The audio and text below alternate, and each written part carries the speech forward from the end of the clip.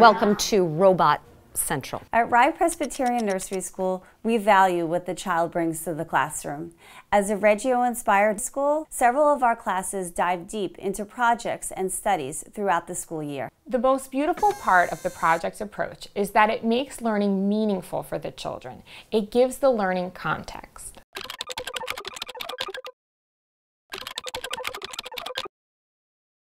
Our project of robots began where projects generally begin, and that is in our building area. The gentlemen were building big, big structures, which then started to resemble a robot Eventually they started putting small blocks in the bottom because they knew that there had to be power.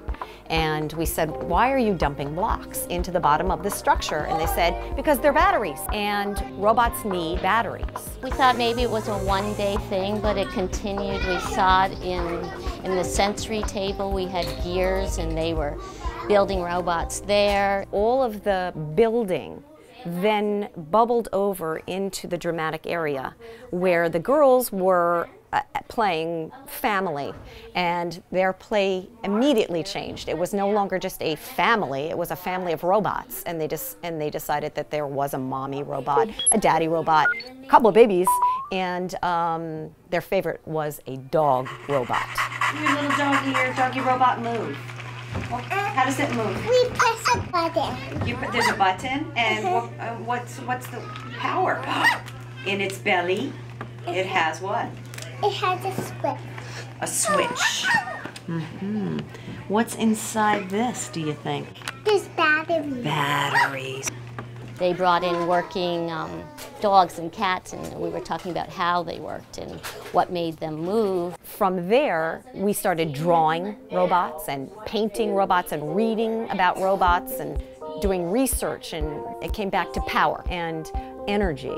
So we brought in a very simple circuit and showed them cl a closed and open circuit and it lit a light bulb. So in order for us to have this light bulb go on, the electrical circuit, circle, has to be closed. So what we're going to do is make a robot with energy from a battery, just like some of your robots. I'm going to hold this and you're going to twist these wires. So this way they, they join together. Exactly. I'll hold it together and you twist it around. So I have this one go around the other one.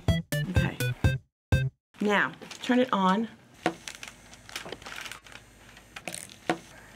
Children learn through doing, through working with the material, through experimenting with it. The children internalize the experience, and through internalizing it, they remember it. They first started with Mrs. Walter and had four different robots to make, my favorite being the art one where it spun round and round. Whoa! Whoa!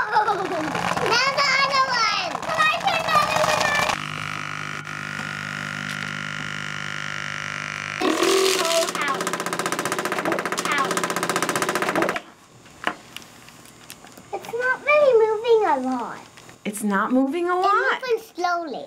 You can tell children about circuits and electrons and you can tell them about batteries and motors, but the way to do it is really um, to try it out and work it out and figure it out. Throughout the robot study, the children were investigators. They were researching, problem solving, exercising critical thinking skills. The teachers facilitate and guide that learning through listening and observing children's actions and ideas. The curious minds of our children is what brings life to these projects.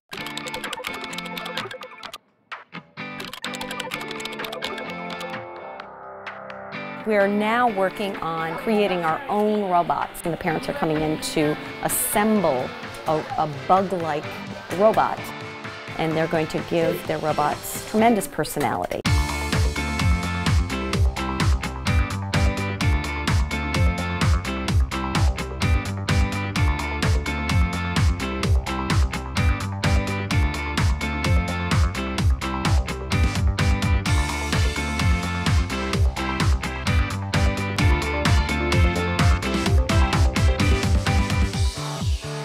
Baby eagle have a name?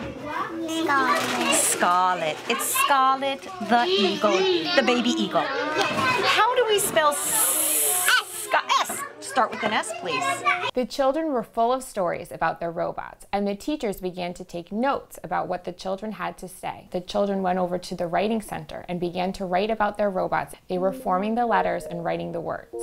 What's the story of your eagle? to stay in my nest.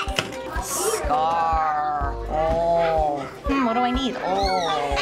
Oh, L. Scarlet. T. The children were still really focusing on their robots, and what looks like drawing and playing is really the beginning of literacy.